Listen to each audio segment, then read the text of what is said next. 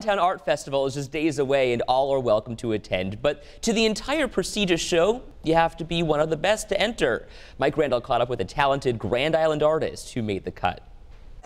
It's a big year for the Allentown Art Festival and for artist Danielle Nash as she gets ready to make her second appearance there. Since I work in oil paint, nothing that I'm working on currently will be dry to bring to Allentown. So everything that I'm bringing to Allentown is already complete. Danielle's work is bold and colorful. She likes flowers and buffalo landmarks and prefers to work from photographs. Because I go around with my camera and I capture these and then I come back and, you know, I look them over and I say, hey, that's going to make a really great painting. You know, that's like the perfect moment. The art festival celebrates 60 years. Danielle turns 27 next week, along with her twin sister, Nichole, also an artist.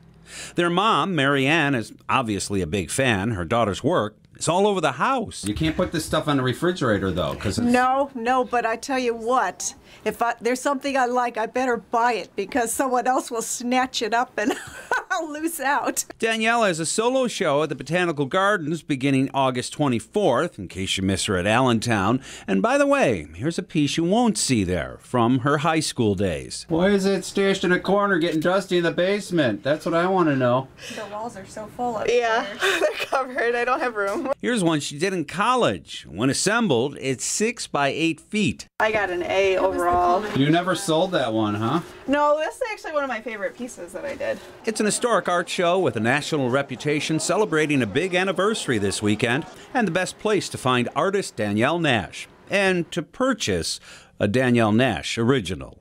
Mike Randall 7 Eyewitness News.